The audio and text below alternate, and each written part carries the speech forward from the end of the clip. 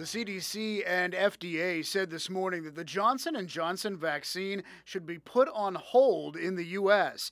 This single-dose vaccine has already been given to more than 6.8 million Americans. Investigators are looking into 6 cases of blood clots in women all under the age of 48 who received the vaccine. One of the women died from that dangerous condition. In a statement, Dr. David Agus had this to say to people who have already received the vaccine.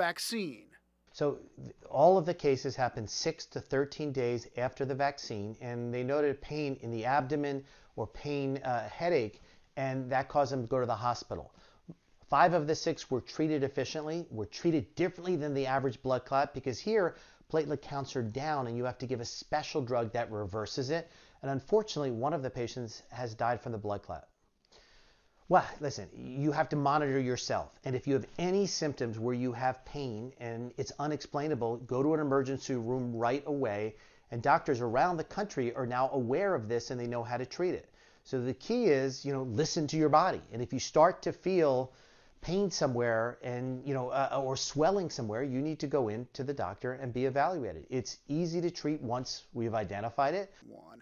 Our team is working to learn more about this situation and the effect it could have on Pennsylvanians. You can find the latest details on kdka.com, and we will continue to update you right here on CBSN Pittsburgh.